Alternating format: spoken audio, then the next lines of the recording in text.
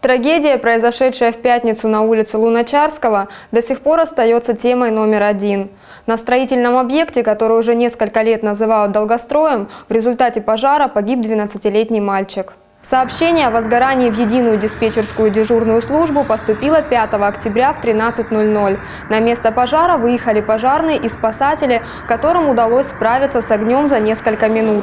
И только после этого в сгоревшей строительной бытовке было обнаружено тело ребенка. Что стало причиной пожара? Как мальчик оказался на заброшенной стройке? Был ли он один, когда загорелся вагончик? Понесет ли ответственность владелец строительного объекта, который должен обеспечить безопасность граждан при проведении строительных работ? На эти и другие вопросы предстоит ответить следствию. 5 октября 2018 года в городе Белореченске в ходе тушения пожара в бытовке на строящемся объекте был обнаружен труп несовершеннолетнего. По данному факту было возбуждено уголовное дело по части 1 статьи 109 Уголовного кодекса Российской Федерации «Причинение смерти по неосторожности».